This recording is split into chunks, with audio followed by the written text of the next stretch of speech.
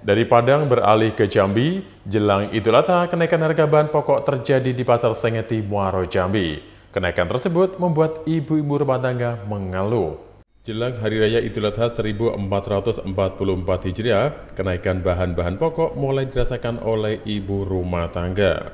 Menyikapi kenaikan ini, mereka pun terpaksa mengurangi jumlah pembelian dalam belanja.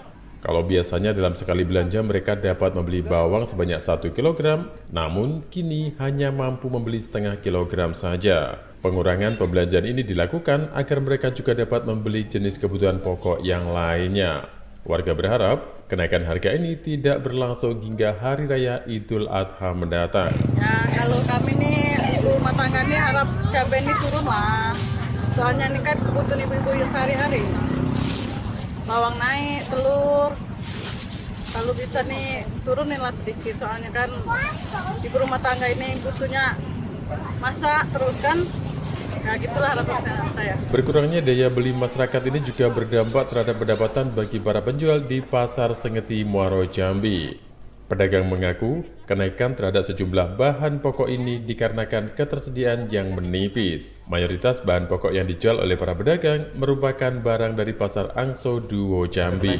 Mungkin yo tak tahu mungkin pasta banyak kok. Isi balik juga cuaca dah. Oh cuaca ya. Barang payah juga. Barangnya. Ini barang dari mana yuk? Kita biasalah ngambil dari Angso.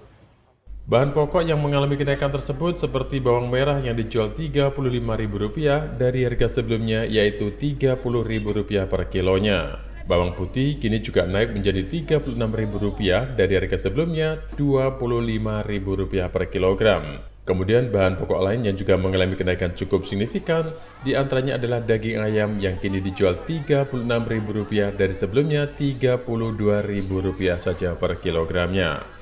Dari Muaro Jambi, Tim Liputan Nasional TV melaporkan.